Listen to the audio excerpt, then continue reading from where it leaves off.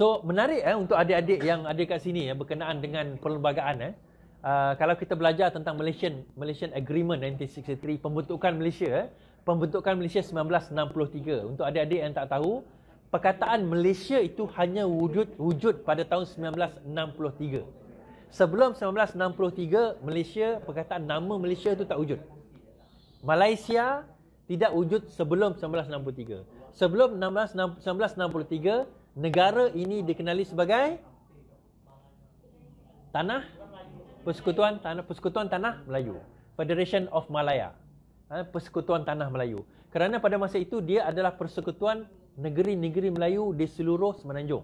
Tak termasuk Sabah dan Sarawak. Akhirnya apabila kita berbincang Singapura Sabah dan Sarawak berbincang kita ubah 1963 kita menandatangani satu agreement dinamakan Malaysian Agreement. Sebab saya nak cerita ni sebab kita alamat lagi Hari Malaysia Malaysian Agreement 1963 dan kita mewujudkan Malaysian Act 1963 dan kita membawa agreement itu ke dalam perlembagaan yang ada dan kita ubah perlembagaan yang ada maka kita membentuk apa yang dikenali sebagai negara Malaysia. Ha, so negara Malaysia itu pembentukan dia daripada uh, pembentukan Sabah, Sarawak, Tanah Persekutuan Tanah Melayu dan juga Singapura. Namun begitu 1965 Singapura keluar maka federation itu kekal 1965 dengan uh, Sabah dan Sarawak.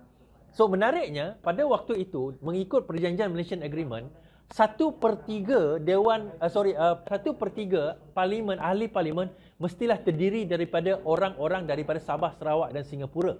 Namun begitu apabila Singapura keluar pada tahun 1965 komposisi itu kurang daripada satu per tiga sekarang ini. So sekarang ini Sabah dan Sarawak demand supaya komposisi itu kembali kepada satu per tiga. Maksudnya jumlah ahli dewan uh, jumlah ahli parlimen di dalam parlimen dan itu mestilah satu per tiga terdiri daripada orang Sabah dan Sarawak. Kenapa? Supaya tidak mudah satu-satu undang-undang itu perlembagaan itu diubah menggugat hak orang Sabah dan juga orang Sarawak. Jadi benda itu tujuan dia.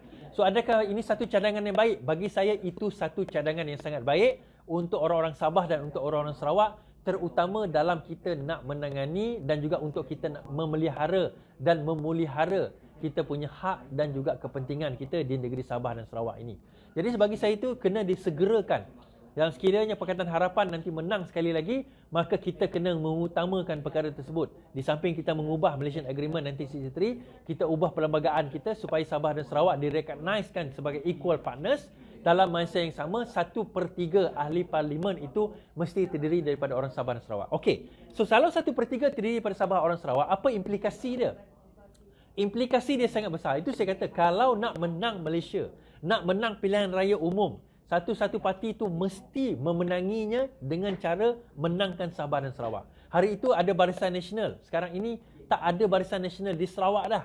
Ha, di Sabah dah ada tapi di Sarawak dah tak ada barisan nasional. So dia kena bekerja keras untuk nak menangkan barisan nasional, untuk nak menangkan uh, apa nama hati GPS supaya dapat bergabung dengan barisan nasional. Itu yang pertama. Yang kedua, saya boleh katakan macam ni. Kalau nak menang Sabah dan Sarawak itu saya kata perlunya ada satu gerakan mass, mass movement di Sarawak ini untuk nak menangkan dan kalahkan GPS. Sarawak di samping Pahang adalah satu-satunya dia dekat Malaysia ni ada tiga negeri tak pernah berubah. Pahang, Perlis dan juga Sarawak. Perlis ni saya tak kisah. Dia punya parlimen pun ada tiga je. Ada tiga je parlimen. Paling kecil di Malaysia ni Perlis. Ada tiga parlimen. Sarawak paling besar ada 31 parlimen. Pahang bagi saya tak adalah signifikasi sangat sebab apa Pahang ni dia bagi saya kita tolak tepi. Tetapi Sarawak ini kalau kita tengok, kalau kita tak mampu untuk nak memenangkan Pakatan Harapan ataupun Parti Keadilan ataupun DAP di Sarawak, maksudnya tak mampu nak menumbangkan GPS di Sarawak, maka janganlah bermimpi untuk kita nak memegang Malaysia ni dalam keadaan tempoh masa yang lama. Sebab itu saya kata, gerakan di Sabah dan Sarawak ini parti politik sangat sangat sangat penting kita tak boleh lagi at the mercy of our enemy kita kata. Maksudnya kita nak mengharapkan musuh kita. Kita nak mengharapkan orang lain untuk menang. Parti keadilan di Sarawak mesti bertanding paling kurang 50 kerusi. Daripada 82 kerusi paling kurang kena bertanding 50 kerusi.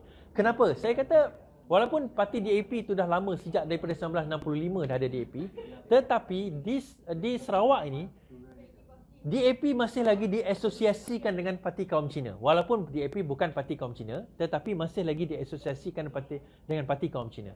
Sedangkan PKR ni adalah parti, Parti Keadilan Rakyat ni adalah parti yang boleh merentas semua bangsa, semua agama. Jadi sebab itu kita kata, paling kurang kita kena bertanding 50 kursi. Itu paling kurang yang realistik, yang yang ambitionnya lah. Tetapi secara realistiknya, last time kita bertanding 40 ke 45 kursi. So kalau kita boleh ambil dalam 40 ke 45 kursi itu pun adalah satu benda yang elok dan baik. Cuma bagi saya parti amanah di, di Sarawak ni agaklah kurang peluang dia untuk menang. Sangat-sangat kurang.